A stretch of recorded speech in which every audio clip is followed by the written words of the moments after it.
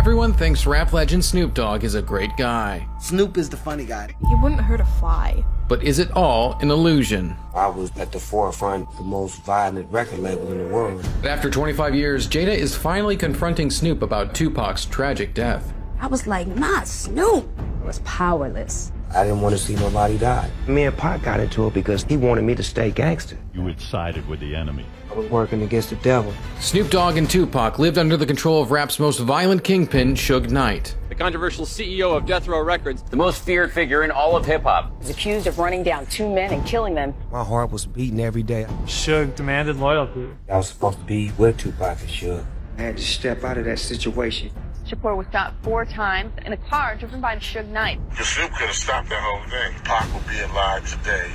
The type of relationship you only get that once in a lifetime. I have actual remorse. I'm not having it. I don't want to keep repeating my mistakes. What is it? What? How can we fix this? You were the only person that stood up to Suge Knight.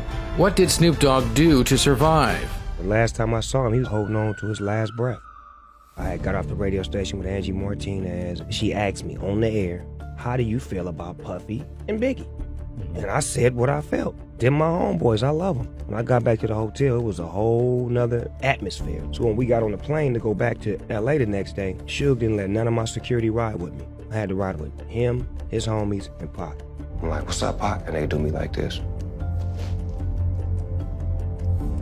So I walked to the back of the plane, give me a blanket, grab me a knife and a fork, the blanket over my nose right here, and ride like this the whole flight. Snoop was desperate to feel safe, but he'd been trapped in a life of violence and fear for years. At 12 years old, you join a gang. If you're a young black guy growing up at that time, drugs and gangs were as much a part of your life as stoplights and street signs. Were you ever afraid? I was always scared. A lot of times I got shot at I had a gun in my possession and could have shot back, but I was too scared because I was so concerned with my life. It got to a point to where my mother kicked me out because she felt like I was bringing too much drama to her house. I had just turned 17. Jesus, and what do you do? It's not like you got somewhere to go. Where did you go? When Snoop met hip hop CEO Suge Knight, he thought he'd finally found a way out. He was so honest, so real, so true, and so passionate about his artists, giving us direction, coaching us. And when Snoop bonded with rapper Tupac, it seemed like he'd found the family he always wanted fell in love with that. Me and him started hanging out, building a brotherhood with him. We represent both sides of the game, the calm one and the relentless one. So when actually I spoke to Suge and was like, we need to get him with us because he will make us better. And he gonna push me. We need his spirit here. But as Snoop and Tupac grew closer, there was one person who tried to warn them about Suge. When we first met, I was a drug dealer. Jada is my heart. He will be my friend for my whole life. As I was coming out of the life, he was going more into the life. I really felt like I was powerless. Suge was not someone to be toyed with. He ruled by fear and intimidation. There were stories of people being pistol whipped, being roughed up, people being slapped around. This is like some Godfather type stuff. With Suge and Tupac on his side, Snoop thought he was untouchable until the violence caught up with him. You got into hip hop, like, okay, now I can leave some of this behind. And I came right with me. Snoop and his bodyguard, and they were driving down the street in his Jeep, and this guy was trying to say something to them. He had a gun, and he was going for it. And my bodyguard reacted. Snoop's bodyguard shot and killed Philip Woldemariam. Now Snoop had to make a choice about the kind of person he really wanted to be. I was traumatic and didn't know what to do. I want to go turn myself in and let them know what happened.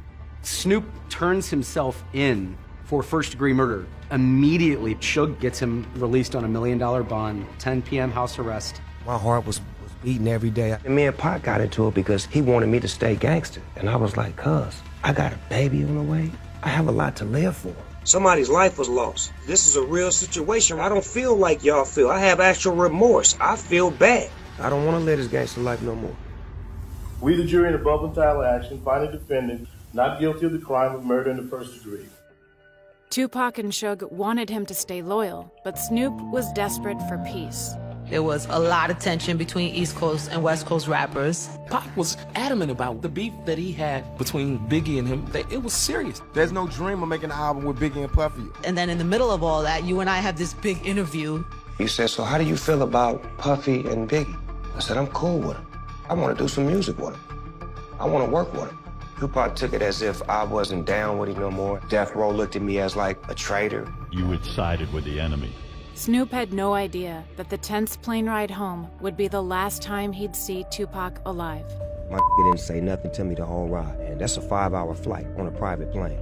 I get off the plane, I'm like, cuz, you going to Vegas? He do me like this. He went his way and he went my way. Next time I get a call, turn on the news, turn on the news, guys. You see yellow tape, Suge BMW. Tupac Shakur was shot four times in a drive-by shooting. He's in very critical condition and he's requiring intensive care.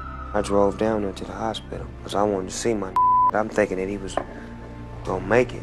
It's Pac. He'd been shot before. Fine.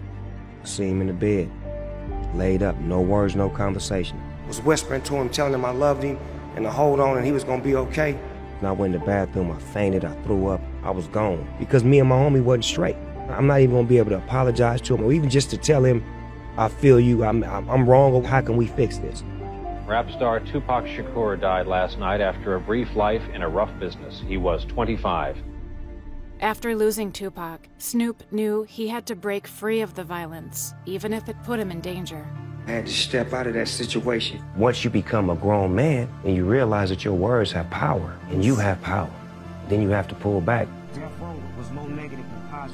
I'm surrounding myself with positivity. And as Snoop took a stand against Suge, he had no idea that someone else from his past was watching. You and I have been around for a long time, right. and along the way, I've had a bit of a complicated relationship with right. you during those very complicated times. You were the only person that came out and stood up to Suge Knight and spoke out. I become the peacekeeper. The fact that you were like, I'm not having it. You don't even yeah, know right. what that did for me. And we started building bridges. By choosing love over fear, Snoop honored Tupac's legacy and built the belonging he'd always wanted. Pac was taught how to love at a very early age, and through his music, he shared the love with all of us.